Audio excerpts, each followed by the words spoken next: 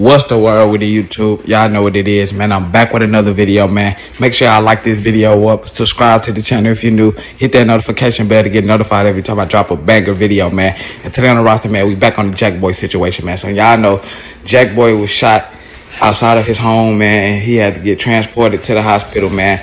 Now, we don't know the injuries or nothing like that. Hopefully, Jackboy pulled through and survived, you know what I'm saying, man? But y'all know Kodak had to, y'all know Kodak was gonna speak out about this, you know what I'm saying, man? And y'all know Kodak and Jackboy have been beefing for a while now, and Kodak getting this news is just music to his ears, you know what I'm saying, man? He spoke out and he was just basically like, I told him he was a dead man walking, you know what I'm saying, man? All that Disney he was doing on my name, all that all that down talking he was talking on my name.